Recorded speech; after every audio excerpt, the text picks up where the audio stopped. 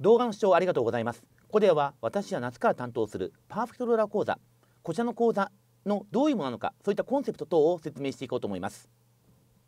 えこの講座のコンセプト25問程度。もう大体基準点付近の方を対象にした講座です。基準点を取れるだけでは合格にいきません。択一だけであればプラス8必要です。このプラス8を取っていく。基準点は絶対いく。そしてそれプラス8取る。そのための講座がこちらのパーフェクトローラー講座。として考えてます。ちょっとそもそも論なんですがなんで成績って上がんないんでしょう？もちろん勉強してる。しっかり勉強していて結構時間もかけてるのになんで基準点に行かないのか。まあ基準点言ってもプラス8なんでいかないんだろうと。いろんな理由があると思うんです。一番大きな理由というのは多分この曖昧な知識というものなんですよ。一つしか持ってなければその一つで戦えばいい。でももう一個入ってしまう。境目が分かんなくなっていく。するとね整理ができなくなって消化不良を起こすんです。よく出る1個だけ知っていれば答えられた。でもう1個入ったせいでぼやけてしまってむしろ点が落ちてしまう他にも理由はあります。ある程度のところまでってアウトプットしていった方が点って上がるんですよ。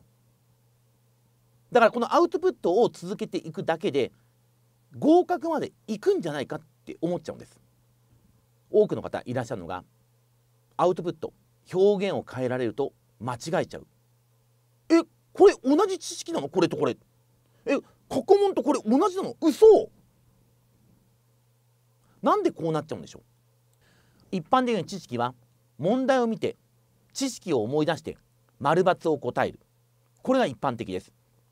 普通初めはこうやって解いていたはずなんです。ですがあまりにもこれを繰り返していくとそのうちね問題文を見たら丸×って覚えちゃうんですよ。問題を見て丸×と。この知識に戻んないんです。そのためこの問題文の表現をちょっと変えられるだけで丸と×が分かんなくなってしまうんです。他にも原因はあると思います。知識を絞りすぎている。えある程度のところまでは知識を絞った方が繰り返せる。繰り返せるから点が伸びます。ですがあまりにも絞りすぎちゃってる人もいます。そのため新しい論点本試験出ます。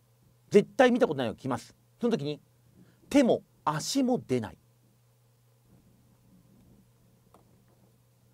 ちょっとまとめますと勉強しているのに知識が伸びない理由としてはこの3つが考えられます。曖昧な知識が多すぎる。アウトプットで答えを覚えてしまう。知識を絞りすぎてしまう。じゃあどうすれば成績が伸びるようになるか。1についてはとにかく知識を整理していくこと。こっからこれはこっち。これからこっちはこっちと。2こっちのアウトプットで覚えるのではなくその知識本体を理解する。知識本体を暗記していく。そして3絞りすぎるのではなく知識量を増やす。こういったことをやろうとするのがこのパーフェクトローラー講座と思ってください。具体的なポイントを説明します。まず1つ目はポイント1図表中心の教材だということ。こちら合格した方皆さん言ってくれます。あの表のあの部分があったから理解ができたと。こちらの表はもう私が受験生の時からあった講座。こちらの講座の表をどんどん改良に改良を重ねたもうレック自慢の図表たちです。図表って何がいいんでしょう？やっぱり見やすいっていうのもあるし違いが分かってくるんです。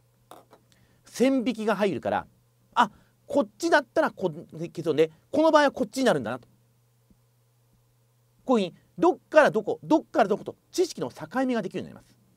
その結果知識の整理ができます。これはこっちあれはあっちと。その結果繰り返しができるようになります。この試験知識量が膨大です。いかに何回回せたか。で勝負が決まります。表にしている。違いがわかる。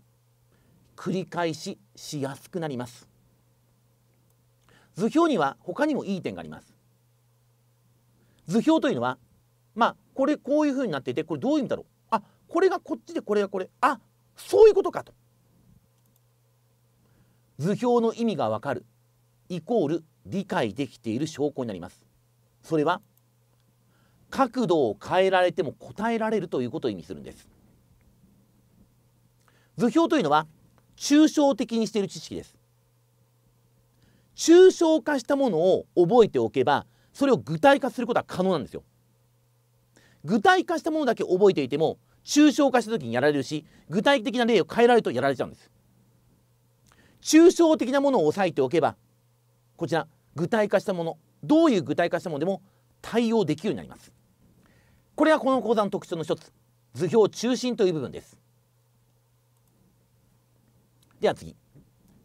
合格に効くメリハリのつけた講義。この試験の論点ってまあ3つに分類できると思います。1まあ自分で読んでも分かるよって部分。2うんよく出るけど分かりづらいんだよね。で3あんまり出ないからやりたくない。でも出るた時に分かんないんだよな。とかこれから出そうな論点。この講座では1についてはポイント指摘。2と3はを中心にやってきます。例えば1に当たるのが未成年。行為能力。だとしたら未成年行為能力はもうポイント指摘。あんまり時間をかけません。一方丸に例えば共同抵当権。計算問題。そういったものについては結構時間をかけます。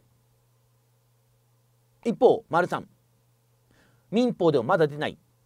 令和の改正部分だとかあとはあんまり出ない。あの先取特権とか。そういった部分についてこちらもしっかりやっていきます。もちろんこの丸三というのもこちらねすっごいマニアックなことをやるつもりはありません。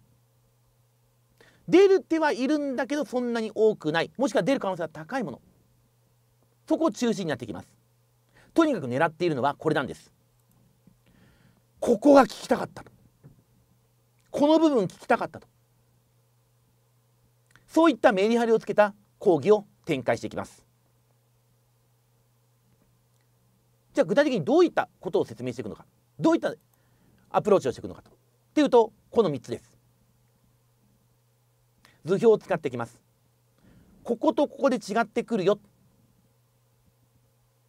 なんで違うのかっていうとねこうこうこういう理由だよ。そういったように図表を使った違いを意識させる。理由を論理的に説明します。そして場合によっては力技も使います。イメージが湧くようないろんな力技を使ってきます。手振り身振り等もやっていきます。とにかく狙ってるのはここに入れることです。そのためにあの手この手を使っていきます。次の特徴です。アウトプットしやすい仕掛けをふんだんに取り込んでます。